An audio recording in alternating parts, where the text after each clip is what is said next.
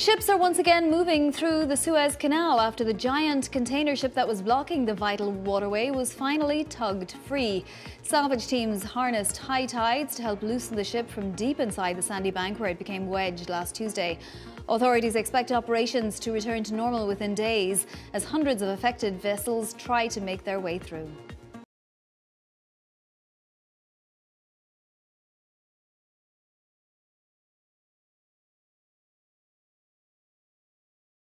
The biggest stories the moment they happen from around the globe. Subscribe to Bloomberg Quick Take now for insight in an instant.